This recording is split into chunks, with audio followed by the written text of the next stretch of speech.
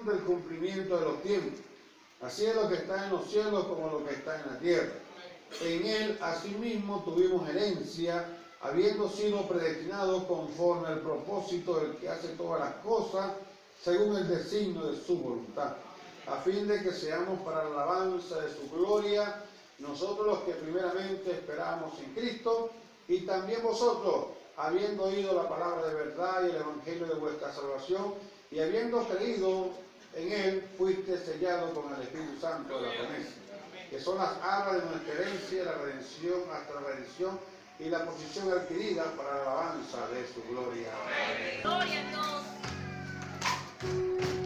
Venid a mí, dice el Señor, a todo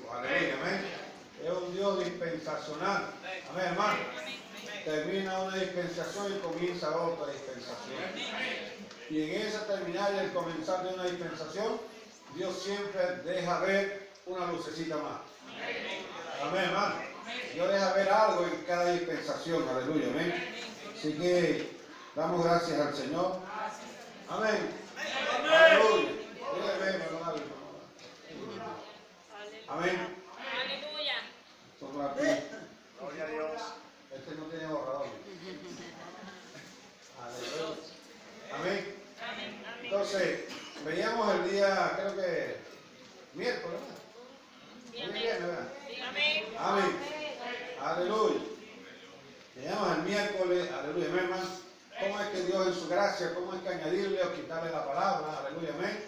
¿Cómo es que no pudieron ver a Dios en Cristo, amén, hermano? ¿Cómo es que Dios se manifestó, el Dios invisible se hizo visible y ellos no pudieron ver a Dios en Jesús? Porque había velo. Siempre habrá un velo. Aleluya. Dios siempre está velado. Amén, hermano. Y la gente no pudo ver a Dios en Jesús. Ahora, ¿vieron quienes pudieron ver a Dios en Jesús? Es por razón de que atravesaron el velo. Recuerde que el templo estaba hecho de tres compartimientos igual.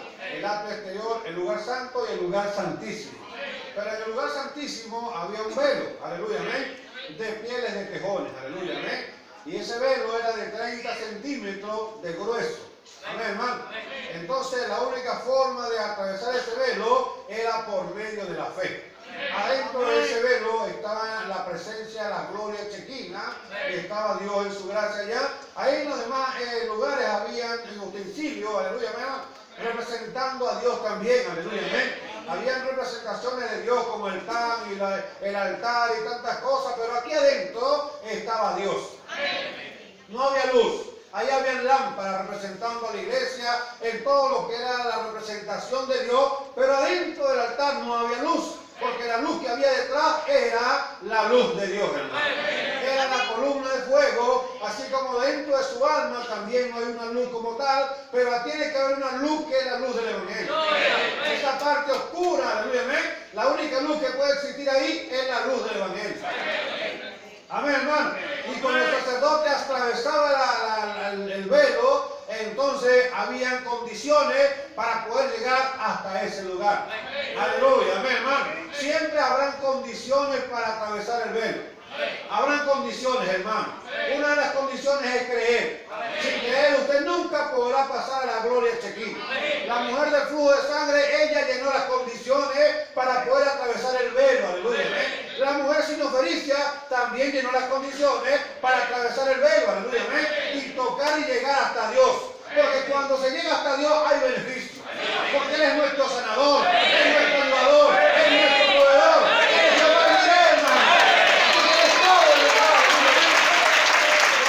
Pero se tiene que condiciones para atravesar el velo. Aleluya, amén. Aleluya, sin estas condiciones nadie puede atravesar el velo. Primero que Él. Aleluya, Entonces las personas que atravesaron el velo de carne, llamado Jesús, sin, mire, sin belleza, como raíz de tierra seca. No había hermosura en Él para que le deseáramos. Despreciado entre los hombres, varón de dolores, experimentado el quebranto y como que escondimos él el rostro. Fue menospreciado y no le estimamos. Imagínese usted todo eso, hermano. Aleluya, amén. Bendito sea el nombre del Señor. Así que Dios apareció en la tierra, aleluya, hermano, en unas condiciones que el ser humano como que no ve a nadie, no ve nada positivo detrás de todas esas condiciones. Alma. Dice hermano. Son condiciones que para que la gente pudiera ver algo positivo, tendría que tener la fe. Aleluya, amén. Por eso él también escogió una novia de lo más vil y sucio levantaré para avergonzar a los sabios y entendidos. Y a la gente le cuesta creer que usted es un hijo de Dios. Le cuesta, hermano, y más a los que le conocieron, hermano. Ese velo le estorba a ellos para ver a Dios en usted y en aún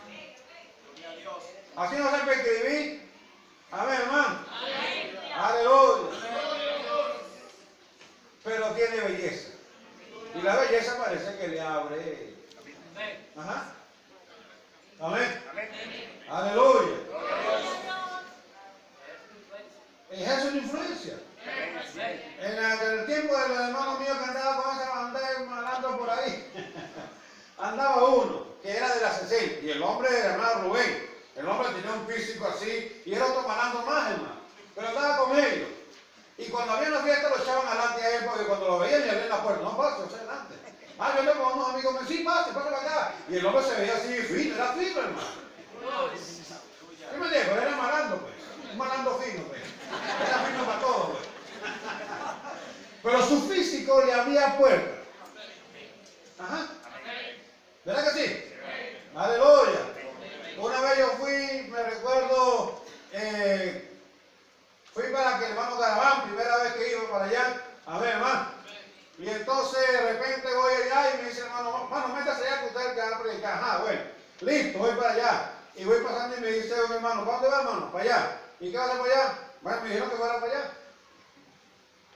Sí, sí, que fuera para allá. Y para allá va, y pero va el predicador, sí, yo sé que va a predicar. Ah, pasa, pasa, pasa.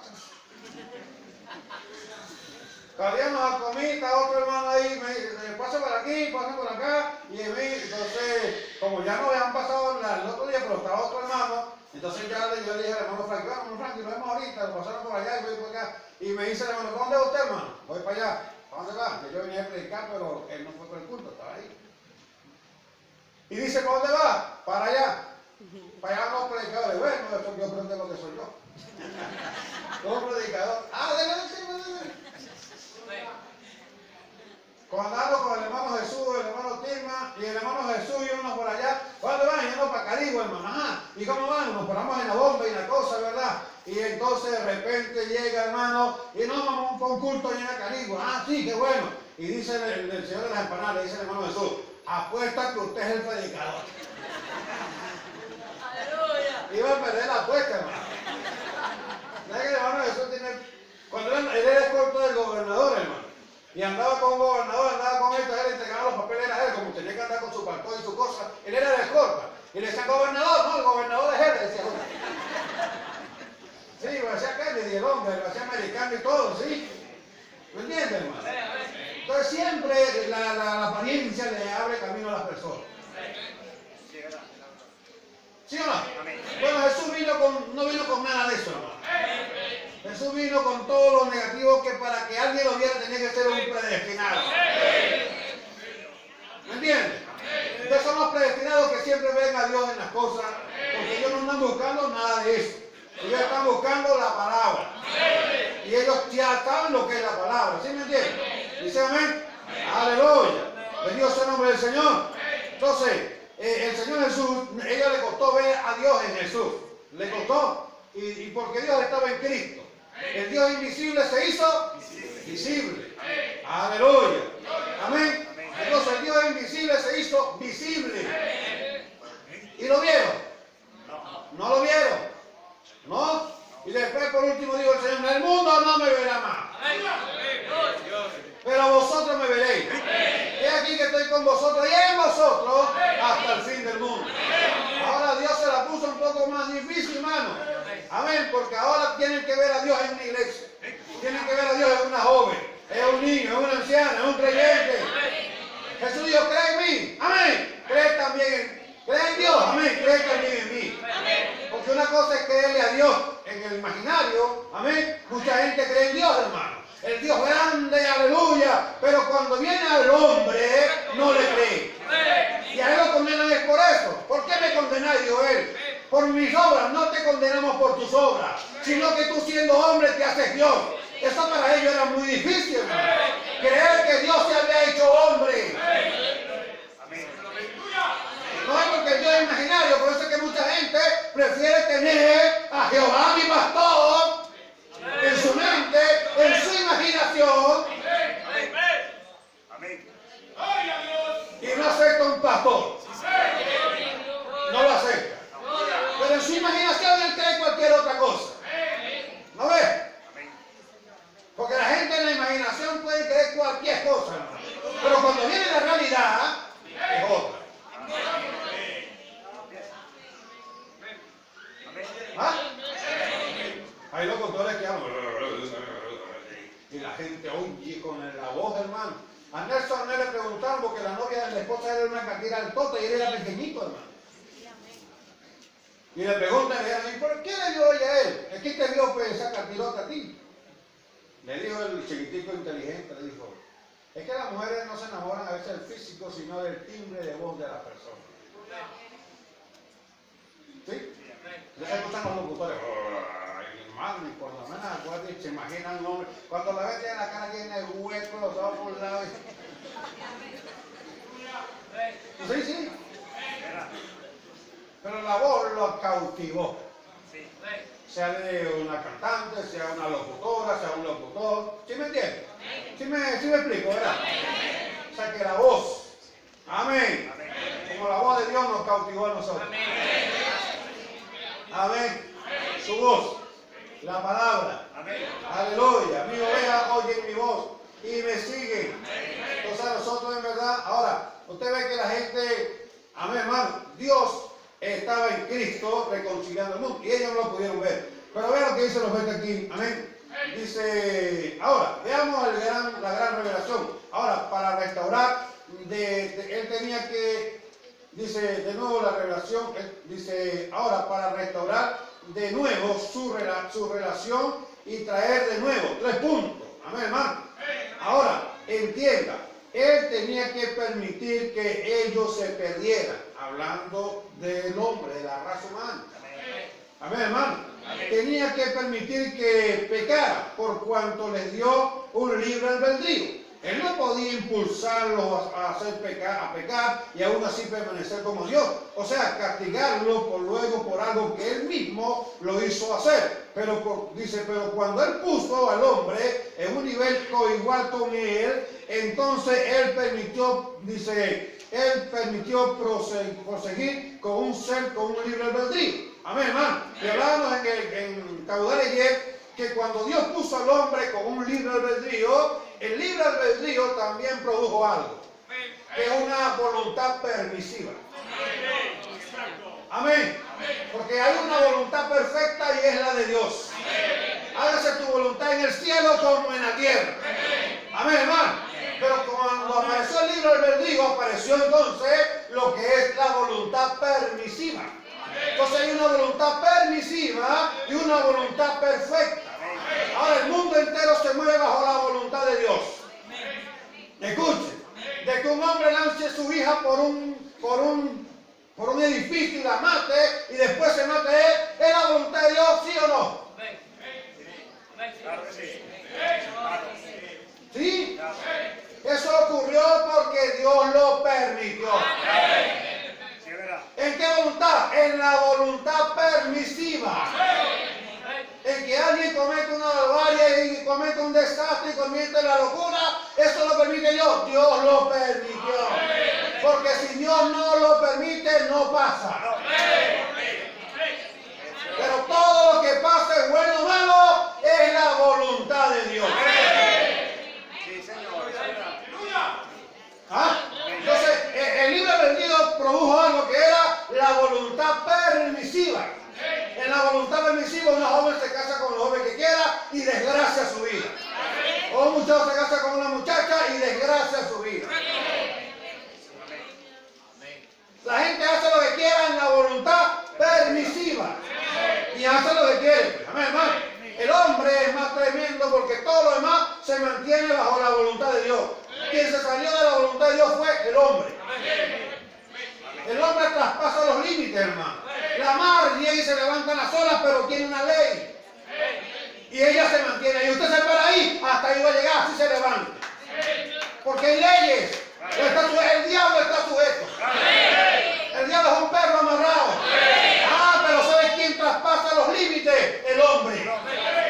El hombre traspasa los límites, hermano, por razón de que Dios lo hizo con un libre albedrío y lo hizo como Él. Igual a Él. O igual, hermano. Aleluya. Entonces decíamos como Dios tiene un plan en su mente. Amén, hermano. Ahora, la omnisciencia de Dios le permite ver las cosas antes de que sucedan. ¿Sí entiende? Y por esa razón es que Dios predestina. ¿Por qué razón? Porque Dios ve todo lo que va a pasar, aleluya. Ahora su omnisciencia, aleluya,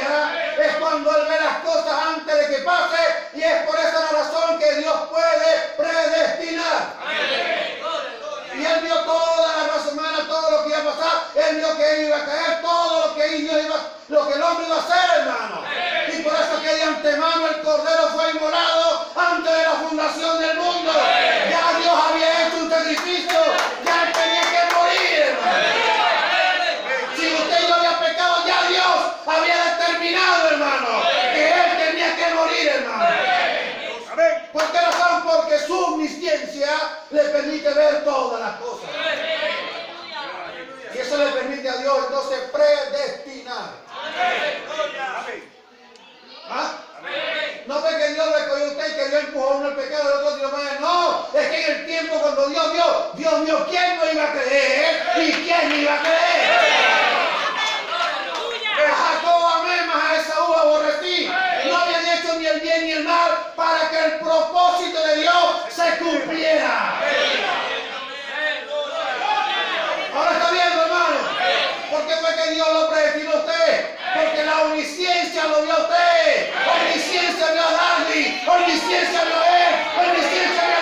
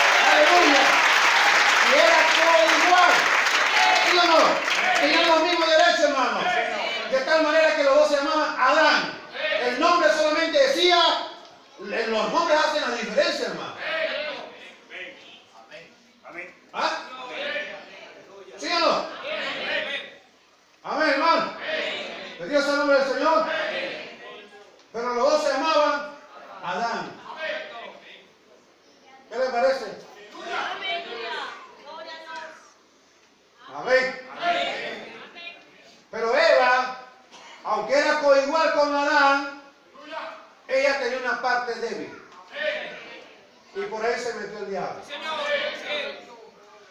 Y ella cayó. Pero al mismo tiempo que ella cae, entonces Dios tenía atributos. Es lo que el profeta dice? Que Dios tenía sus atributos, pero tenía que desarrollarlos, tenía que ejecutarlos. Amén, hermano. Entonces, sigamos aquí. Vamos, estamos a buena hora. Dice, amén, hermano. Dice, él dice, permanece como Dios. Dice, él tenía que permitir que, que pecaran por cuanto les dio un libre albedrío. Él no podía impulsarlo a pecar y aún así permanecer como Dios. O sea, castigarlo luego por algo que él mismo lo hizo hacer. ¿Está bien? ¿Entiende el propósito de Dios? No es que Dios te impulsa a hacer algo. No. No, hermano. Aleluya. Dios no es esa de Dios con esa mente sádica. Perversa. No, lo que es que es omnisciente. Su omnisciencia le permite ver todas las cosas y al mismo tiempo resguardarnos a usted y a mí. En el amor. Aleluya. Dice amén. Pero cuando Él puso al hombre en un nivel coigual con Él, entonces le permitió proseguir como un ser con libre albedrío. Y así estar en, dice, y así existe hasta, existió, dice, usted hoy. Amén, hermano. Amén. Amén. Amén. Así existe hoy mismo usted y yo. Amén, amén, amén. Porque como Dios hizo el primero, hizo el segundo. Claro. Y así hasta el último hombre. Amén. Gloria a Y Dios. se actúa como quiere, porque tiene un libre albedrío. ¿Qué escuchan atrás? Amén. Ok. Amén. Tienen un libre albedrío. Entonces, si el primero Dios lo hizo de esa manera, entonces tenía que crear el segundo igual y así hasta el último, porque de otro modo estaría equivocado con el principio, en el principio. Pero así son todas las cosas, dice, así, así son todas las personas. Amén, hermano. Están en las mismas condiciones. ¿Sí o no? Así que cada quien hace lo que quiere. Claro. Determina su futuro. Amén. Sí. Amén. Entonces Pablo dijo, todo me es lícito, pero no todo me conviene. Aleluya. A. Entonces yo le decía al hermano allá, todo me es lícito. Entonces le decía al hermano, por lo menos le dan a una persona porte ilícito de alma. Imagínese usted, ya el apóstol Pablo dice, todo me es lícito. No es, se le es permitido. Amén, hermano. Pero no todo me conviene. La pregunta es, a un hombre le dan un porte de alma, porte ilícito de alma. Así es. Eh, La condición es, ¿será que ese hombre está preparado para cargar un arma? Ningún hombre. Porque todos sufren de rabia. Todos no tienen dominio propio. Y en cualquier momento van a, a- a utilizarla de una manera incorrecta. El arma no es buena en las manos de nadie. El hombre es impulsivo. El hombre es malo por naturaleza. Cuando el toro venía hacia el profeta, ¿qué fue lo que hizo? ¿A dónde se buscó? La pistola. Usted ve que si toda la pistola, ¿qué hubiese pasado? El amor no se proyecta. Pero el amor se proyectó porque buscó la pistola y no la tenía. Y no le quedó que hablarle al toro.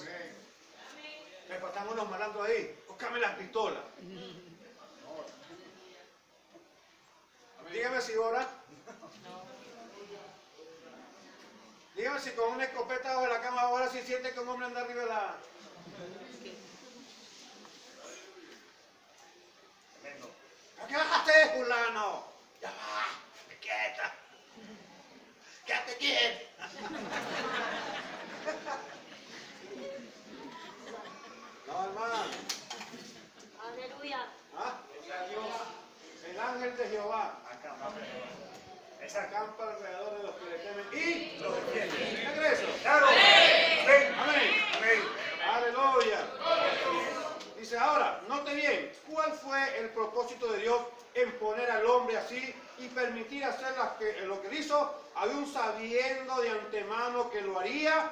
Con esto dio lugar a la expresión de, sus- de sus atributos como Salvador. Amén. Así que cuando el hombre pecó, le dio entonces lugar al atributo que Dios tenía como Salvador, como sanador. Mire entonces, el propósito de, dice, completo está en Jesucristo. Amén. Siendo Dios mismo tomando el castigo de su propia ley. Aleluya. La muerte y dice, muriendo para redimir a la novia que estaba perdida por haberlo rechazado a él. Cuando Eva se desvió de la palabra, ella se alejó de su compañerismo. Y ahora cuando la iglesia se desvía de la palabra para unirse a una denominación, entonces se comete fornicación con la palabra sabia de un hombre, rechazando la autoridad de la palabra de Dios. ¿Está claro? La Biblia dice que comete fornicación espiritual. El rechazamiento de, tu- de- de cualquier palabra de la Biblia o la aplicación de cualquier interpretación privada significa rechazar y cometer adulterio. Amén, hermano. Contra Dios. Amén, hermano. El cual es nuestro esposo y ya sabemos que los adúlteros no heredarán el reino de los cielos. Amén. Entonces, esta, el pecado le dio ¿qué? lugar al atributo de Dios. ¿Ah? Amén. De Salvador, de sanador. Ahora que él no lo podía hacer, amén, como el gran Jehová. ¿Me entendió? Amén. Este atributo de Salvador, de sanador, él no lo podía hacer como el gran Jehová, aunque lo era. Amén, hermano. Pero esto que estaba dentro de él, expresión, ese atributo, tenía que ser en Jesucristo. ¿Por qué razón? Porque como Jehová él no sabía lo que era pasar hambre. Como Jehová él no sabe lo que es un dolor de cabeza. Como Jehová él no sabe lo que siente un hombre cuando, está cuando ha pecado. Como Jehová él no puede comprender a un hombre. Pero como Jesucristo sí. Porque él se hizo hombre. Y él sí sabe lo que es tener hambre. Él sabe lo que es sentirse triste. Él sabe lo que es rechazado. Él sabe todas esas cosas, hermano. Y por eso él me entiende a usted y me entiende a mí. Es sencillo, hermano.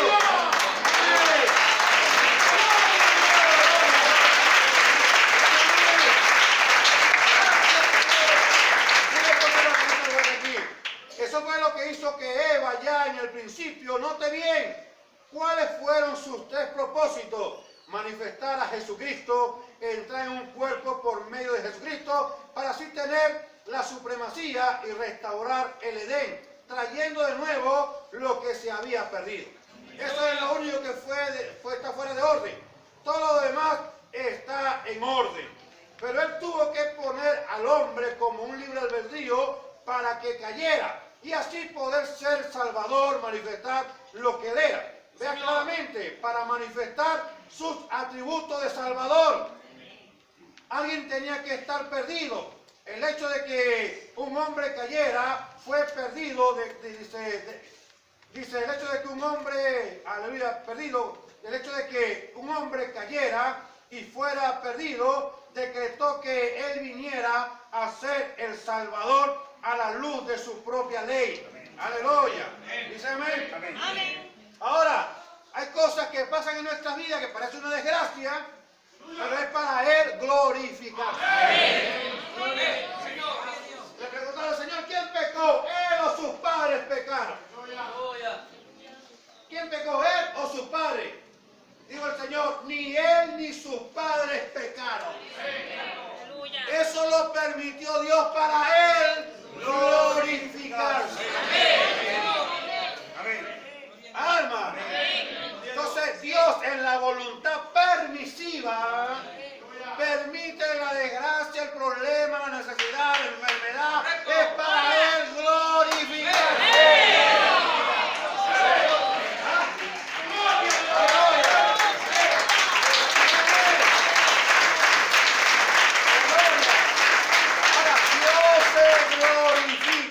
Dios. Y por eso es que una persona entiende el propósito en su vida, hermano, su vida es la gran película de Dios. Lo que pasa es que usted no entiende el propósito muchas veces y a veces anda por ahí chuteando piedras. ¿Por qué yo estoy así? ¿Por qué ando así? Hermano, entienda que usted es así porque usted es parte de este Dios multiforme. Expresarse.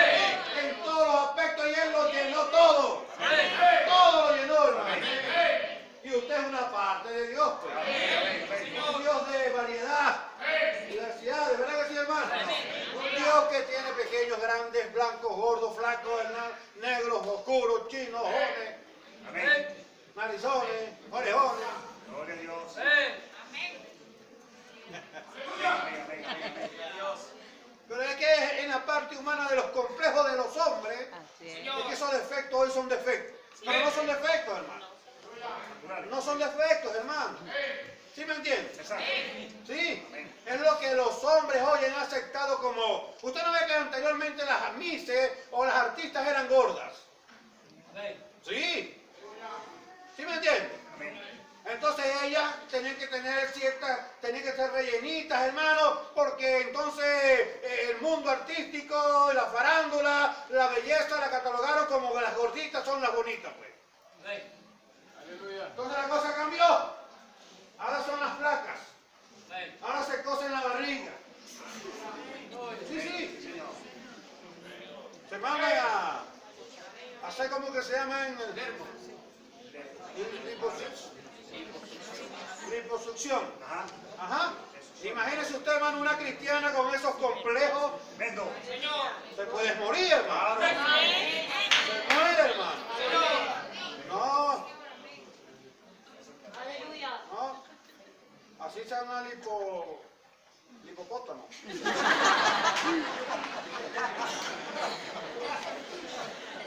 Ah, porque la gente... Pero ahora, ah, como ahora las mises son...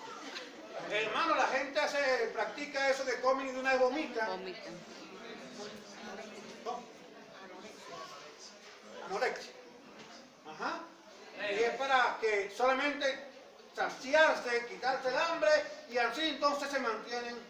Ah, porque ahora son, así son bonitas, flaquitas. Pero es lo, lo que ellos catalogan como bello.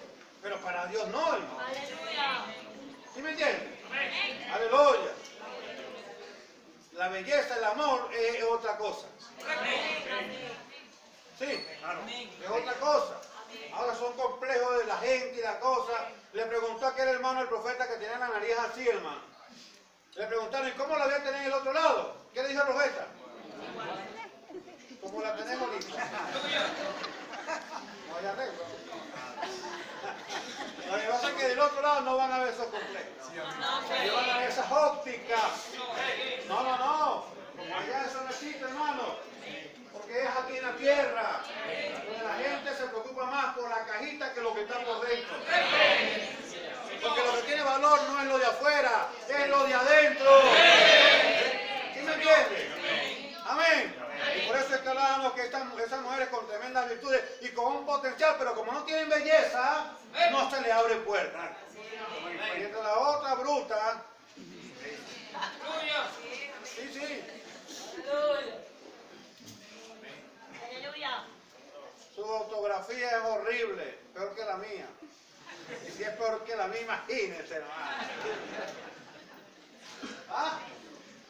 Dígame pues, hermano. Ah, pero si tiene belleza, ¿no ves? Sí. Amén. Que Dios nos ayude, hermano. Pero Dios permitió todo eso para él Glorificado. glorificarse. ¿Ah? Entonces, le decíamos que, que Dios en su gracia, su misericordia, permite las cosas en su vida. Es para él. Cuando usted entiende el propósito de Dios, por eso dice en Romanos, y sabemos que a los que aman a Dios, escuche, todas las cosas le ayudan a bien conforme al propósito de los que son llamados. Si usted es llamado, todo ayuda para. Porque la vida suya, hermano, su vida no es casual, no. Usted no está aquí por casualidad, Dios causa las cosas. Y usted está aquí no como un paracaidista. No, usted está aquí con un propósito. Su, su vida es un propósito. Mira la vida de José, qué desgracia, hermano. Lo venden sus hermanos, le va a llevar comida y se lo venden a Putifar. Le meten una mentira a su papá que casi lo matan, hermano. Esos malvados. Amén. ¿Ah? Una bendición y por ser fiel a Putifar, la mujer de Putifar se le enamoró, hermano. Y la acusa falsamente, hermano. Y va a la cárcel, hermano. ¿Qué le parece, hermano? Aleluya. Parece una desgracia para la vida de José, pero José entendió el propósito de Dios. Y en el propósito de Dios el diablo no puede interrumpir el propósito de Dios. Hermano, cuando en su vida pase cualquier cosa, no crea que Dios lo interrumpió. No, todo ayuda bien. No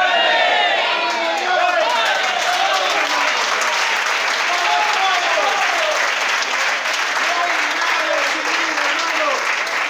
Entienda esto, que no hay nada en su vida. Nada. Si usted es uno de estos elegidos, no hay nada en su vida que no tenga propósito. Ajá. Hasta de Y el apóstol Pablo orando para que le quitara ese, ese agigón, dijo no. Ah, Aleluya. ¿Qué le dijo Dios? Pablo, bástate mi gracia. ¿Ah? Que Dios tenga que decir a usted, hermano, bástate mi gracia. Amén. Amén. Porque mi poder, escuche, en tu debilidad se perfecciona.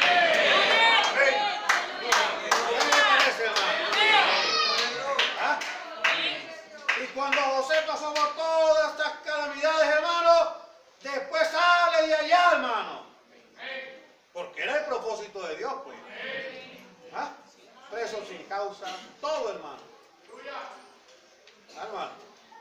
Sin embargo, en la humanidad uno se hace la pregunta, Señor, pero ¿por qué? ¿Por qué el hermano Daniel, Señor? Gloria a Dios. ¿Ah? Pero como el diablo no interrumpe el programa de Dios, mire, a ver, hermano, lo que parecía una desgracia, ahora es una bendición. Mire, ahí está su esposa, ahí están sus hijos, ahí están caminando.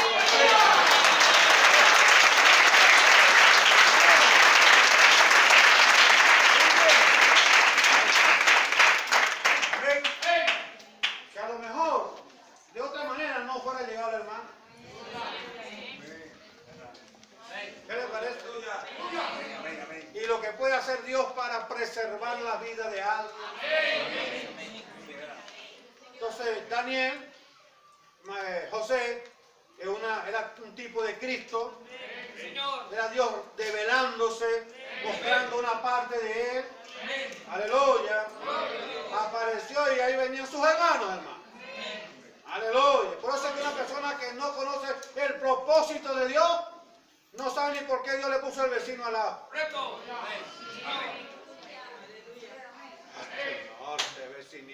Señor, este Si tú me dieras otro vecino, el otro no te va a ayudar.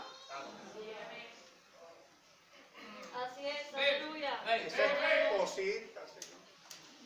Ese esposito. Ese que te va a aparejar.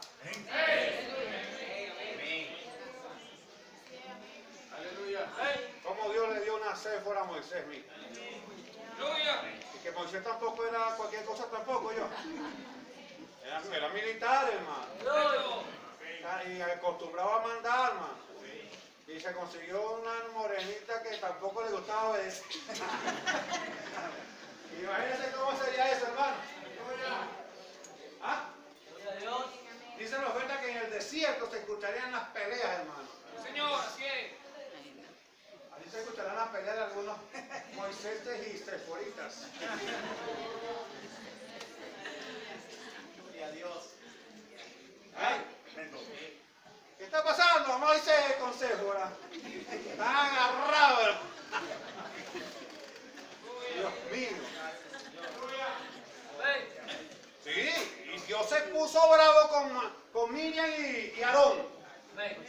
Porque criticaron a la esposa de Moisés. No hay por qué si yo se la di, pues. ¿Ah? Amén. No es que, es que Dios sabe dar las cosas, hermano. Amén. Amén. Señor. Y después, ¿qué era Moisés? El hombre más manso de la tierra. ¿Qué le parece? Aleluya. Amén. Imagínense, hermano, que Séfora le eh, circuncidó a, a, a Gerson, hermano. Salvándole la vida, hermano. Es que le iba a matar. Amén. ¿ah? Pero su mal, su condición, hermano. Mire para que usted vea. Si ella no hubiera sido así, el muchacho se muere. Correcto. Ella tuvo que circuncidarle y lanzarle el prepucio. Sí. El, ¿Sí? Amén, hermano. A Moisés, hermano. Aleluya. Pero vea que la condición de ella salvó al muchacho y a ellos mismos también. Señor. No es que es una bendición, hermano. Entonces, cuando una gente sabe el propósito de Dios y cuando se le presentan a José los hermanos, ¿qué hubiera hecho una persona. Dios. Mira, faraón. Todavía no hay gasolina, pero tengan gasolina para. Dale fuego. No, Aleluya. Lloró José, hermano. Cuando vio a sus hermanos que lo vendieron. Y cuando vieron que era José, hermano, no le habló ni en el hebreo que lo conocía, le habló por medio de un intérprete. Y le dijo: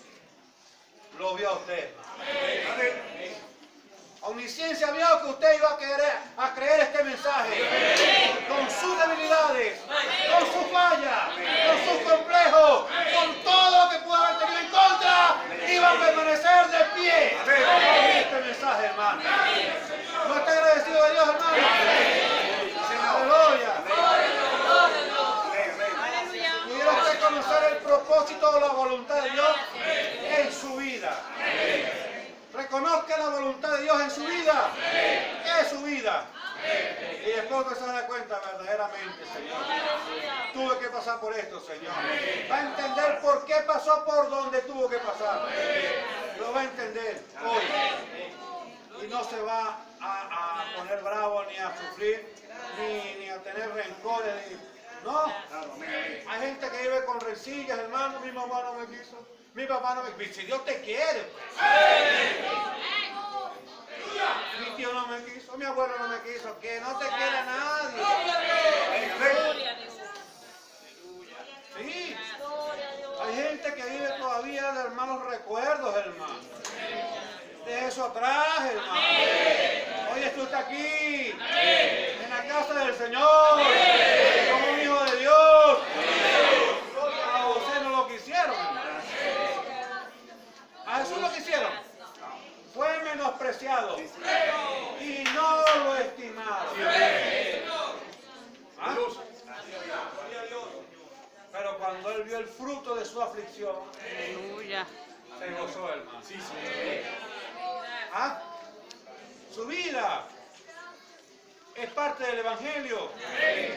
Es parte de la vida de todos estos creyentes cómo pasaron. Aleluya. Un David solo, hermano. Su- su- todos lo dejaron, hermano. Aleluya. Gloria a Dios. Su propio hijo lo destronó, hermano. Aleluya. Después de haber sido el rey, ahora estaba destronado. En una montaña por allá, donde Jesús se paró a llorar, ahí estaba David también. Aleluya. Y cuando Simei vino a echarle tierra, imagínese usted, supo que ese venía de la presencia de Dios, hermano. ¿Entendió, hermano? Aleluya. Entienda usted, hermano, que por donde usted está pasando es el camino correcto. Señor, ¿quién pecó? Ni él ni sus padres pecaron. Eso lo permitió Dios para él Glorificarse. glorificar. Amén. Cuando usted pasa por cosas para Dios glorificar. Gracias, Señor. Y Dios se glorifica. Señor. ¿Cómo se glorifica Dios? Es un pecador. Amén, hermano. Amén. Que llega hasta la indigencia. Ah, Dios lo levanta.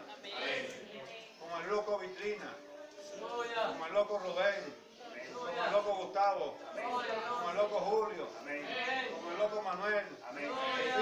Sí, como el loco usted, como el loco usted, como los locos de. Y hoy estamos aquí. ¿Y qué ha hecho. Amén.